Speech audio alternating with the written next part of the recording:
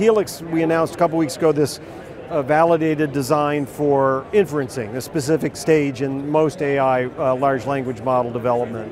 And so I think for us that really is on the back of a combination of hardware, software from both companies, and of course services for people to help understand how to implement this process, implement their first step on the journey. Yeah, absolutely, and, and a, all of those together in a kind of a tightly tuned, easy to use, e easy to consume package, whether it's a workstation uh, or servers. So you know the PowerEdge servers with supporting H100s, um, now supporting uh, our L40S, which right, is you just announced L40S just announced, today. Huge just announced that. Yeah. Um, you know, we've, we've got a massive backlog of, of H100s, and you've been a great partner for those. Yep. Um, L40S now is readily available. Um, great for AI, great for graphics. It's the most universal GPU that we have at NVIDIA uh, for the data center.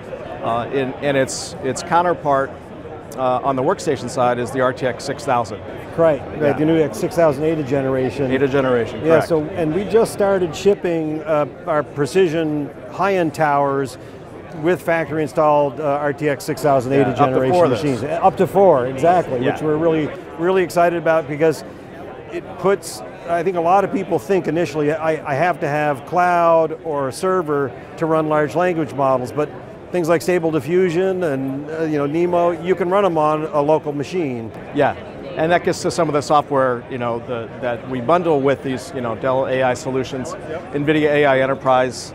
Um, you know all the toolkits uh, includes NeMo, our large language model. Um, you've got already you have some pre-trained models that yes. people can just use right off the bat and then fine tune uh, on their workstation or on their uh, PowerEdge servers